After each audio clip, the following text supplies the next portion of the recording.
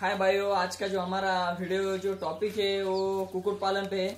हमने जो देसी कुकुट पालन जो चालू किया था एक डेढ़ महीने पहले, हमने जो बैच लाई थी, अभी वो तकरीबन डेढ़ महीने के बाद कम से कम आधा किलो, एक किलो तक हो गई है।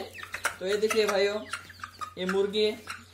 तो उसके बाद जो हमने बैच लाई थी, वो हम दिखाने वाले ये देखो, हमने उसके बाद जो बैच लाई थी, अभी बीस पच्चीस दिन हो गए।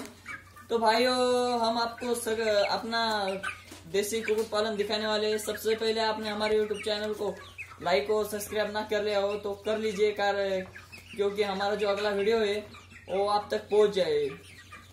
तो देखिए भाइयों आज के हमारे पोल्ट्री फार्म।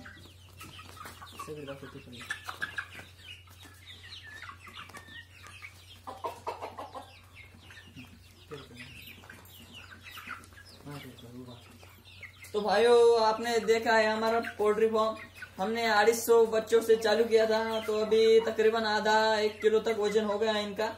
तो अभी बीस पच्चीस दिन में सेल कर सकते हैं हम इसे। धन्यवाद।